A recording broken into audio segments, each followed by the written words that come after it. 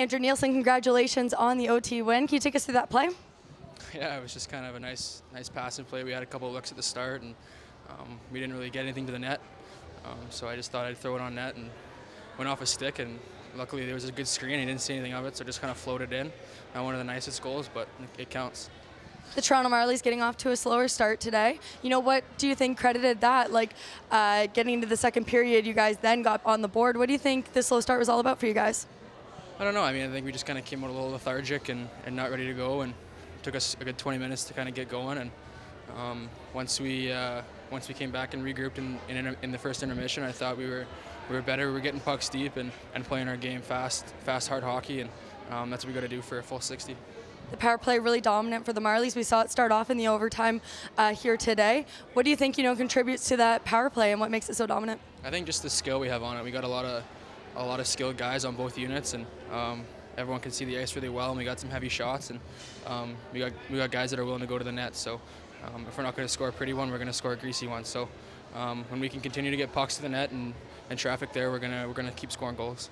One road game on the Marley schedule so far. Now six in a row to go. What can we expect from the Toronto Marlies? What are you guys going to take from your home dominance and apply to the road?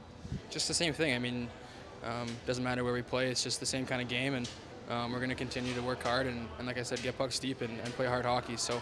Um, we're going to keep rolling here and, and, and, keep gelling as a team, and it'll be good to get on the road for, for a week or so and, and, and get closer and um, kind of come together as a team more and um, only going to benefit us, and, and we're just going to keep going.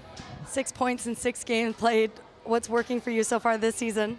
I think I'm just I'm just shooting pucks more and, and joining the play and, and, and benefiting from the system we play. I mean, we play a fast, a fast, skilled game, and um, when you get the pucks up to the forwards and, and they create time and space with their speed, it's easy to, to join the rush and, and, and, and be that fourth layer like we like we like to have. So um, playing power play helps too, and, um, and like I said, I'm just going to continue to put pucks to the net and, and, get it in the hands of the skilled forwards, and, and things are going to going to keep going.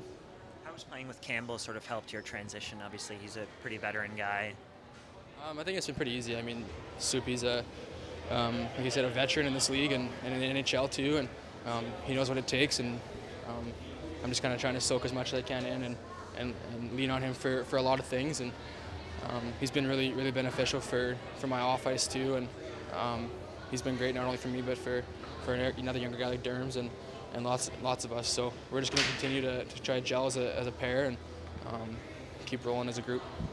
Antoine Bibeau getting the last three starts and really standing on his head for you guys. Can you just touch on his play so far and what you thought of it? Biebs has been great. I mean, he's he's a good goalie and he's big and he's athletic and um, he keeps us in it when, when when we're not playing. I mean, that first period it could have been easily three or four nothing, and he made a couple key saves that kept us in the game and allowed us to come back in the second. So. Um, him and Sparksy and, and Glasser are, are, are, huge pieces to our team, and, and we're confident with whoever we have in, in, the, in the net. So um, when, when when they're going, we're going. So it's uh, it's a good it's a good combination.